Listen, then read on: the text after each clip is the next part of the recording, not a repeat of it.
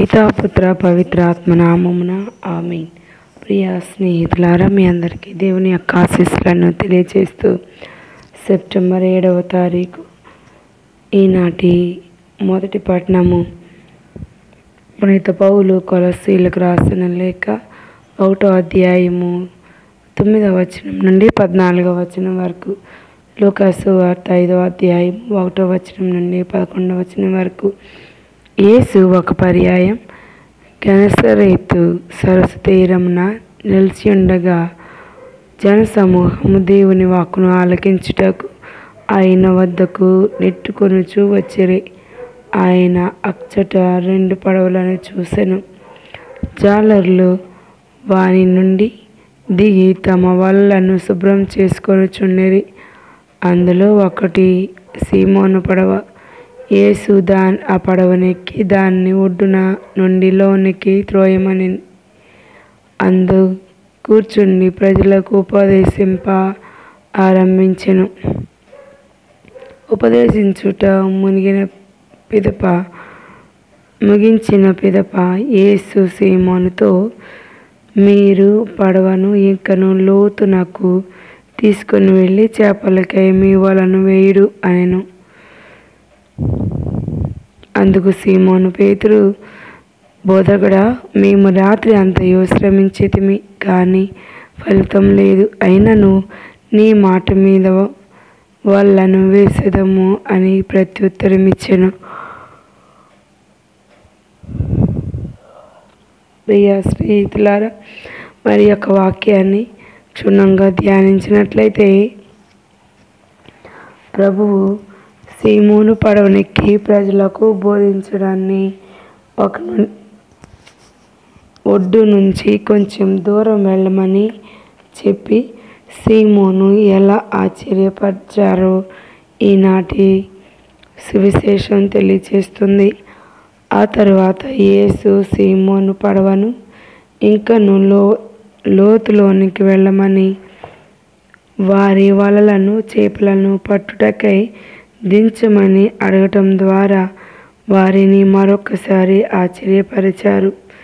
సీమోను మొదట అభ్యంతరం తెలిపిన యేసు ప్రభుని సన్నిధిలో ప్రేరణ పొంది ఆయన మాట చొప్పున వాళ్ళను నీటిలోనికి దించారు. ఇది విశ్వాస ప్రతిస్పందన. మనం కూడా ఇటువంటి ప్రతిస్పందనకై నిలువబడినాము.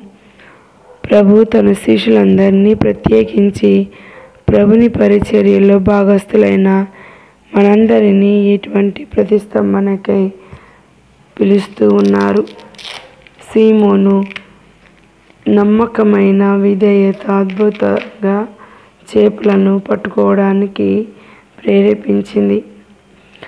మనం దా దాతృత్వంతో ఆయన సేవ చేయుటకు వచ్చినప్పుడు యేసు ప్రభు మనలోని మన ద్వారా గొప్ప కార్యాలను సాధిస్తారు.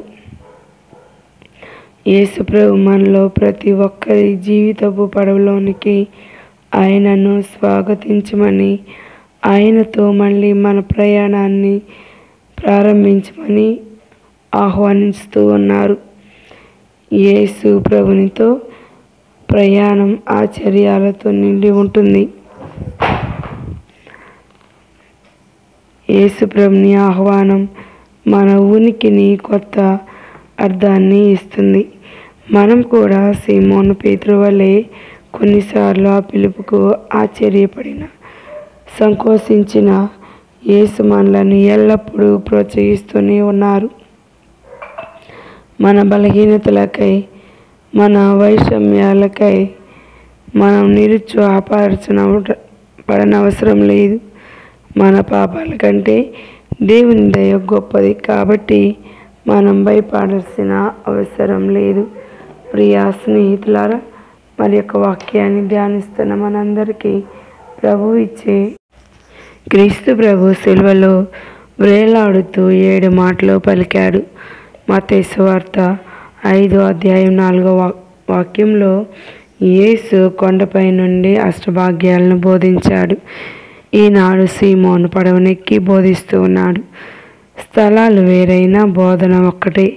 జాలర్లు చేపలు పట్టుటలో అనుభవం నైపుణ్యం కలిగిన వారు. రాత్రంతయు శ్రమించిన ఫలితం లేని పరిస్థితి. ఆ సమయంలో క్రీస్తు ప్రభు వాళ్ళను ఇంకొంచెం లోతులో వేయమని ఆదేశించాడు. పేతురు దేవుని మాట మీద నమ్మకం ఉంచి వల వేశాడు. ఫలితం వాళ్ళు చిరుగు చిరుగునట్లుగా చేపలు పడడం మహా గొప్ప అద్భుతం. పేతురు క్రీస్తు శిష్యునిగా మారాడు. కొన్నిసార్లు మన జీవితంలో క్రీస్తు సలహా లేకుండా ఎన్నో ప్రయత్నాలు చేస్తాం. కష్టించి శ్రమించి విసిగి వేసారిపోతాం. కానీ ఫలితం శూన్యం.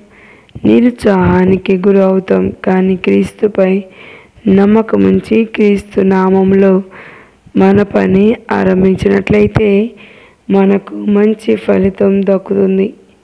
ఎప్పుడైతే నీవు ప్రభు వైపు ఆధారపడతావో ఆ కార్యం ఫలిస్తుంది. అది మనకు మేలును దేవునికి మహిమను చేకూరుస్తుంది. కాబట్టి మన అనుదిన జీవితంలో ప్రతి కార్యానికి ముందు ప్రభువును సలహా అడుగుదాం. మరియు ఆయన మీద ఆధారపడదాం. ఆయన సన్నిధిలో నిలబడదాం. ప్రియ స్నేహితులారా మరి యొక్క వాక్యాన్ని ధ్యానించే ముందు ప్రభు మనతో ముచ్చడిస్తున్న మాటలను జ్ఞాపకం చేసుకుందాం. ప్రభు మనతో ఈనాడు కష్టించి పని చేయమని ఆహ్వానిస్తూ ఉన్నారు. మనం ఎంతగా కష్టపడతామో అంతగా దీవెనలు కుమ్మరిస్తానని ప్రభు ఈనాడు దివ్యబలి పట్టణాల ద్వారా బోధిస్తూ ఉన్నారు. పేతురు విశ్వసించాడు ఫలితాన్ని అనుభవించాడు. అదేవిధంగా విశ్వసించిన వారందరికీ ఫలితాన్నిచ్చే దేవుడు ఉన్నాడని మరవవద్దు. విశ్వాసంతో అడుగుదాం. ప్రభుని ప్రభుని బాటలో నడుద్దాం. पिता पुत्र पवित्र आत्मा नामों आमीन।